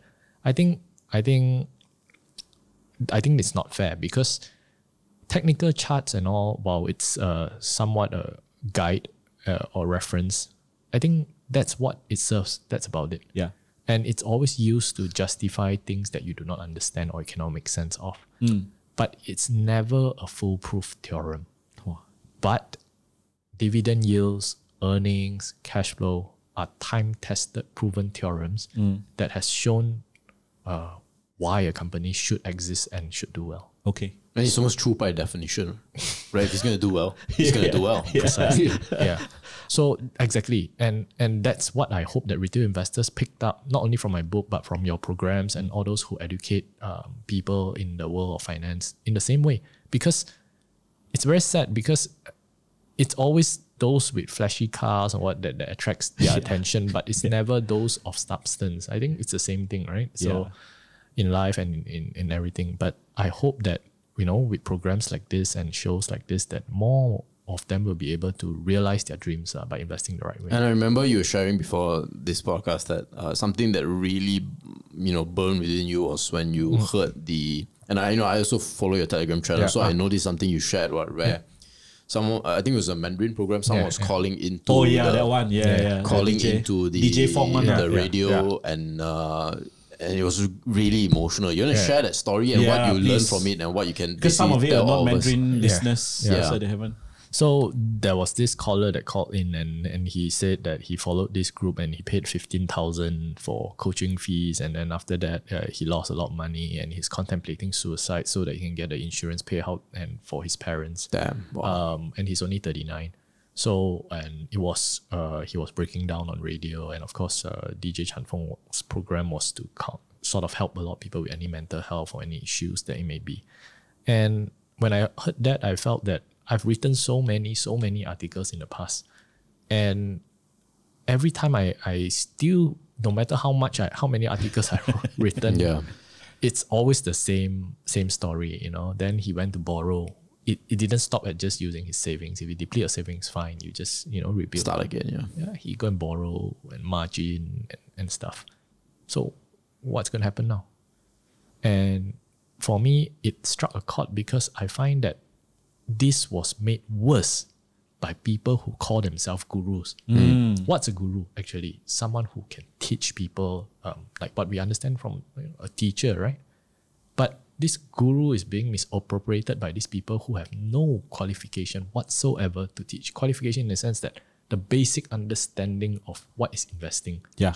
you know the the the necessary evils of investing that means certain things it's just no matter even if you pick the right company sometimes it still moves against you Yeah. That's but no they tell people it's guaranteed 100% you know you can just borrow and just leverage you know how can anyone do that Yeah. that is morally and ethically wrong Like, it- in fact to me it's bordering on criminal Yeah. yet people don't learn. So it, it sort of um, affected me in a way because I felt that if through my writing, I do not call this out and I do not use the platform, however small platform that I have, to share my thoughts out there, then I'm also in a way an accomplice because I encourage people to retail, invest in the stock market. That's right. But I don't go and tell them and warn them about pitfalls. So then that's my my fault a- as a as a party as well. So I just try my best and I just do what I did and include writing this book.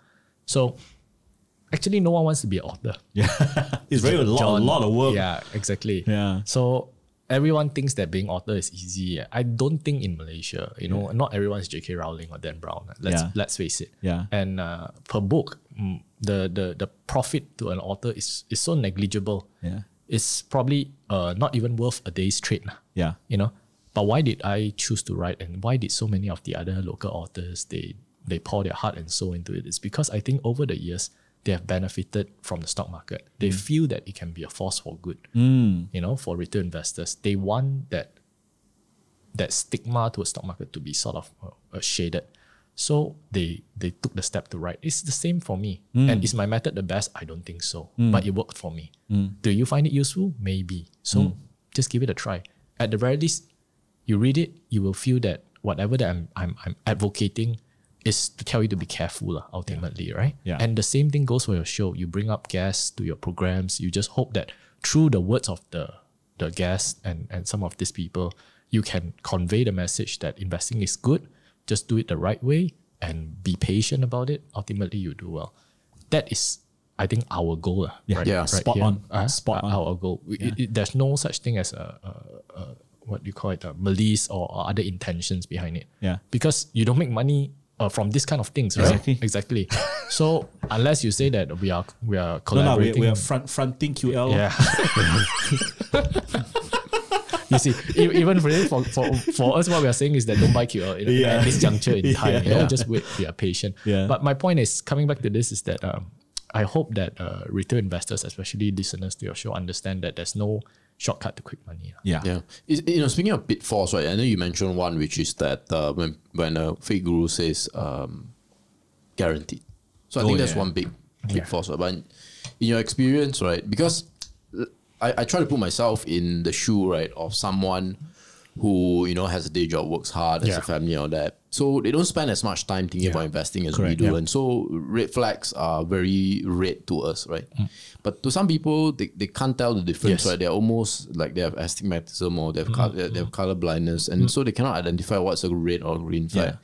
So with regards to fake gurus, right? Apart from when they say guaranteed profit, right? What are some of the red flags you would tell uh, the listeners? a, a checklist lah. That means if you Hmm. see if you see uh, someone offering this kind of service, what would you think Yeah, would be yeah. a checklist to say that oh, fishy, fishy, fishy? yeah, what are the red flags? and all that? yeah. I think ultimately is uh, there's a few con men always have a few uh, similarity. Okay. they're usually very uh, flashy. Okay. Uh, they like to show off. Yep. Um, they know somehow they don't understand the meaning of humility lah.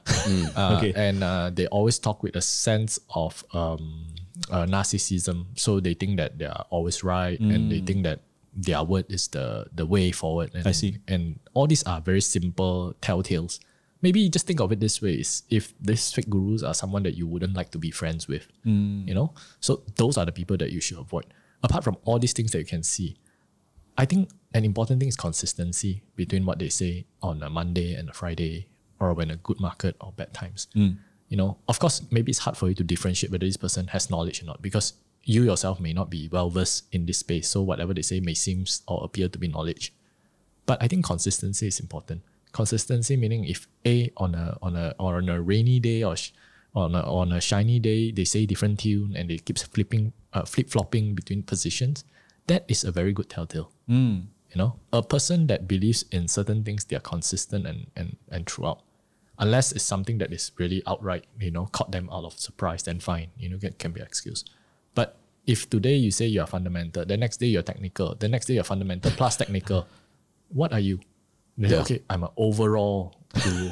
but then you're selling your value investing guru. I Yeah. don't think that's how it works, right? Yeah. Mm. Then if you say you're value investing, then you say, I don't look at dividend yield. I look mm. at growth. Mm. Then when growth stock is performing, you say, I look at growth. I don't need look at you know. Value. I'll just share with you all this story. I think y'all will like it. Yeah. So there was this chat group. Uh, I think it started off from i3 and then he has 2,000 over people in the chat group. So he said that expensive stocks are the best stocks to buy. Expensive mean like like Nestle. price those like- You know, Right, expensive in terms of PE valuation. Oh, okay, Ooh, okay. okay. The higher the PE, the better. Wow, okay. So the, the people ask him, why? Oh, think of it like Hermès bag and Rolex. Why? Expensive, right? Yeah, expensive. the more expensive, only people want. You see, everyone fighting for it also cannot get. Low PE means cheap. cheap stocks. Who won? No one won. Understand not? So that is how you invest. Can you imagine? That is how he justify to the investors to buy tech stocks. Wow. and there's 2,000 over people. Now, how many out of the 2,000? All you need is 10%. Yeah. And this 10% probably they lose their life savings Yeah. if they listen to it. Yeah. Because they will think that tech stocks are Hermès back or Rolex or and, and go with the same mindset. So these people talks with such theories that defy common sense and logic. Mm. And it is important for us as retail investors to be very careful. Just like if your health is bad, do you go and listen to one doctor or you go and listen to several doctors? So if you're not sure, just check with a few Yeah. others. Cross check them. Hmm. Even what I'm saying today may not be right. You may not agree with me. Yeah. Go listen and check out Other guys. Yeah, cross check.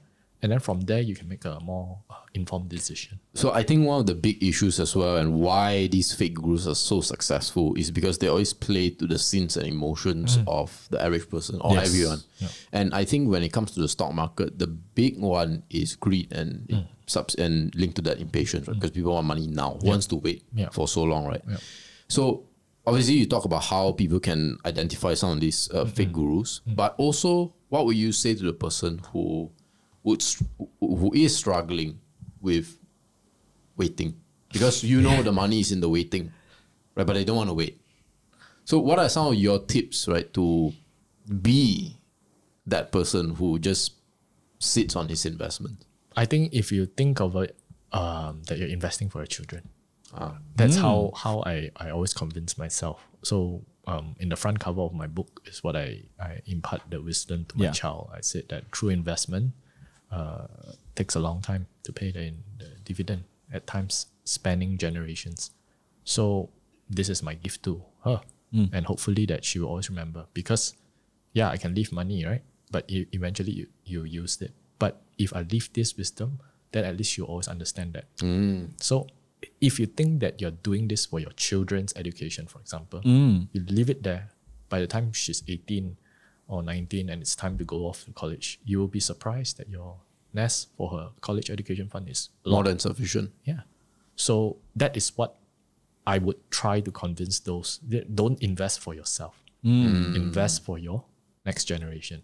Then you may say, "Oh, I- I'm silly because well, why I don't want to spend money on myself." Yeah, that's right, right? Yeah. Yeah, but the money at the end of the day, when it comes, it will be so much that's enough for yourself and the next generation. Yeah. Hmm. Because you're willing to wait. Hmm. So, but provided it's a good company, lah, it must come back. Of course, of course. Don't invest in a company that disappear after two, three years. actually, actually, when he said this, right, it The, was the Green Packets of this world, right? Yeah, no, because we we have a team of researchers, Yeah, uh, yeah, Han, yeah. and um, he's actually a quantity surveyor by training. Yeah. And he was like telling his colleagues about it's actually Gabe. Yeah. Right, the other Gabe, uh, right? The other Gabe. So he said he told his colleagues, hey, you know, if you invested in ViTrox, uh, you would have made a hundred X. Uh, and then his colleagues asked how long? 15 years. Yeah, cannot lah, 15 years. Cannot wait. Uh.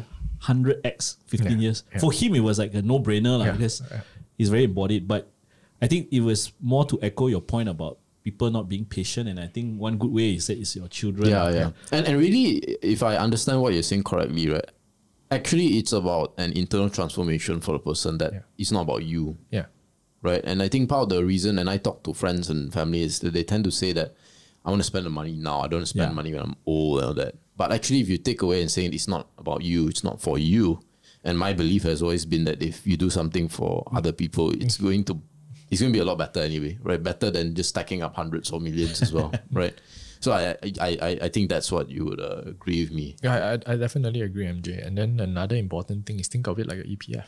Yeah. You You, cannot withdraw. ma. You can't withdraw, but except for this year. lah. yeah, yeah, yeah. Yeah, Yeah, that's yeah. why our market is going through such a disruptive year from the normalcy. Actually, I've never seen EPF sell the way it does. lah. It's Okay, wow. frightening. It's it's extremely frightening because if not for retail investors, if not for last minute some foreign funds coming in, I think our Bursa would be in a, quite a bad shape. Yeah, yeah, yeah. So I've never seen anything like this. So everything got a price. So mm, allowing withdrawals from the EPF program has sort of caused our market to uh, go through a disequilibrium. Okay. So coming back to what you say, MJ, I totally agree with you. And another important thing is always to think about what is your purpose to invest in the first place. Yeah.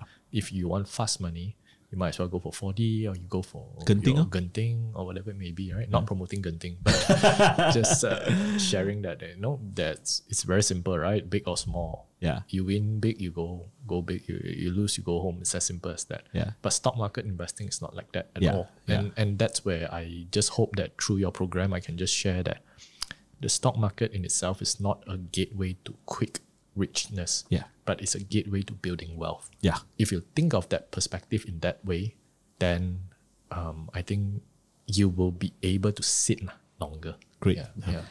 I want to go back to our earlier conversation about Dr. Neoh and all Yeah. that. Also, yeah. So I, I'll start off with the current foreign, Yeah. the forumers, Yeah. or what we call celebrity forumers. Yeah. What do you think of the landscape and how are they using their influence? Are they doing it well? Are they doing it not so well? I think, uh, John, this question is uh, quite timely. Another reason is because I started off as a blogger. Yeah, exactly. Yeah, uh, um, I started seven, eight years ago in i3 as an unknown writer, and I was just thinking that "Eh, maybe I just practice my writing skills. Correct, correct. you know, and something, a topic I like. I never imagined years later I would be an author of a book. I never expected to be a mainstream column, um, financial columnist on StarBiz Weekly Yeah. or Nanyang. So it was never the end goal, to be frank with you. Mm. But I found i3 to be very useful back in the days, Mm. especially in as a, a congregation of information and uh, sharing of not only uh, information but also good news source. Right, some source news portals need to pay. You know, Mm. Yeah. down there you get, get all kinds of information. I really enjoyed the forums back in the days, but it has gotten from uh, um, uh, very uh, satisfactory level to uh, a toxic place today. And it's quite sad because, in a way, it's infiltrated by some of these operation syndicates um, and all this. Uh, I don't know what you call them, trolls or whatever it may be. The worst, however, is still the celebrity gurus. Yes. You know why? Why? Why I find them the worst is because they know they have influence on the market mm. by by virtue of their stature. Yeah. And yet, instead of using it for good, they use it for themselves. Now, some listeners will think, what's wrong? Using it for myself to make money? Sure. But at whose expense? Yes. At the retail investors who are pro- possibly just a housewife looking to supplement an income so that she can buy a school uniform for the child or nicer shoe or birthday present Yeah. have they thought about it? Or then you might say that, oh, it's a zero sum game. That's stock market. I don't agree that the stock market should be a zero sum game mm. because the stock market, if you invest in a good company, it grows, your wealth grows, no one loses. It Yeah. can be a, a space of such. But because of the human complexity and emotions, it makes this gyration in the market and it makes it irrational. Hmm. Irrationality is good for value investors. Yes. Right, John? Yeah. You know, so it's good for us but it's not good for the common people because That's right. If you do not dare to buy during a dip, you will just cut and you will just keep making losses. and Yeah. it just keep piling up.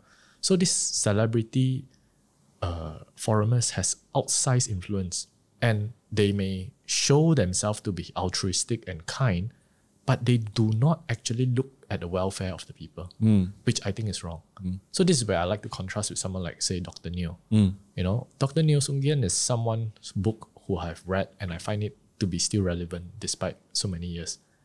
And despite having such overwhelming influence uh, in terms of the literature of financial education in the country, or even Cold Eyes for that matter, Yeah, Koi. yeah, you do not see them using their influence to enrich themselves at expense of others. Yeah. So, to all people who believe in celebrity gurus or or this uh, invest, we call them prominent investors, lah. I think it is necessary for you to reflect and look back at how these people have been behaving over the years and judge their track record.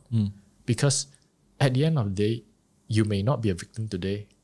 You may end up being a victim someday That's right. And it may not be you, it may be your family.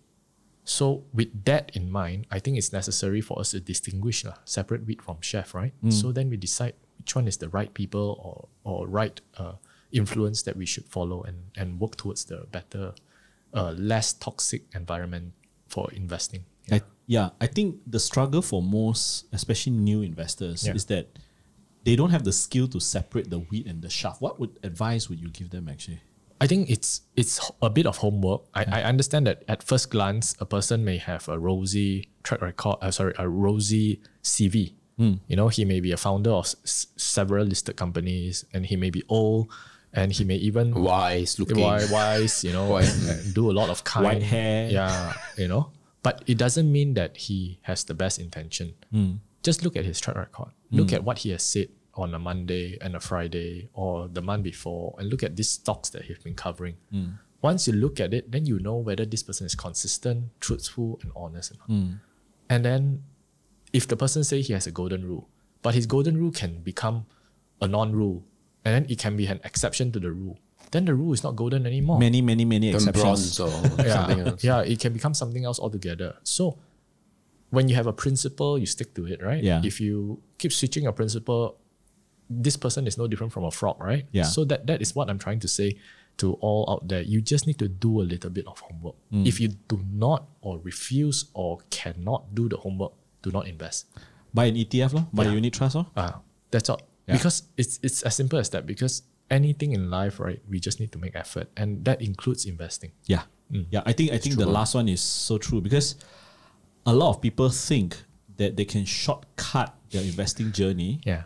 By, you know, the- like the, the DJ Chan Fong is like, I have a list of stocks, you know, this influence group, I have a list, I just buy, follow that. They've already done the research and they take, take, take, take the hands off. I think that's something that I don't think you promote to your readers. Yeah. And what we promote is that even though we've done some of the research, you still have to do your own due diligence. Uh. Yeah. Definitely. Yeah. And of course, gauge the track record. I Yeah. think that's very important. Yeah. And if you see that something is not right or you sense something is fishy, then don't be masked by the hello of this uh, prominent investor because sometimes it's all a charade. Yeah. Great.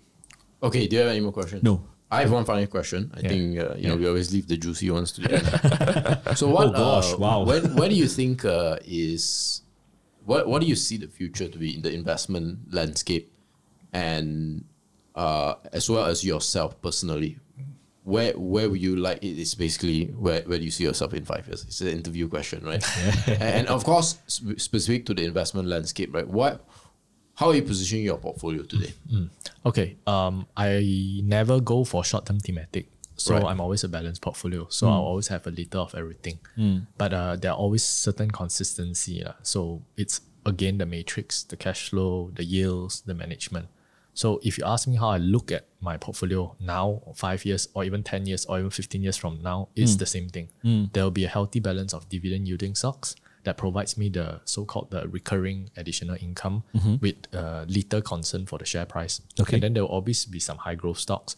And then of course there will always be some um, stocks that I hope to hedge against the potential forex impact. So there will always be some exporting stocks, you know, and then there will always be your um, banks, you know, uh, stable blue chip, uh, consumer SM, FMCG stocks. These are always the things that I look at. I see. And this balanced portfolio will always be the same with certain tilts based on the macroeconomic condition or the policies.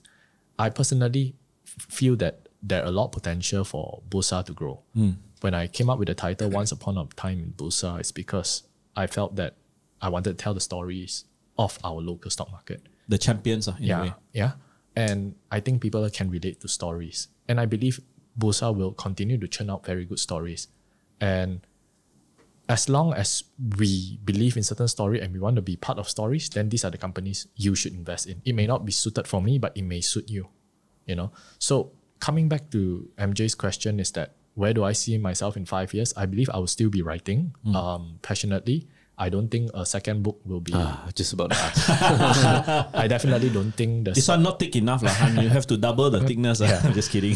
I don't think a second book will be in in the in the near term. Maybe uh, the next cycle, which is probably ten years later. But in the meantime, maybe a translation would be good because I speak Mandarin as well, and I hope to play a part to the Chinese investors, Chinese speaking investors who find uh, uh, my book a bit uh, complex for them in this language. So I would like to potentially consider, with my publisher's blessing, a Chinese version.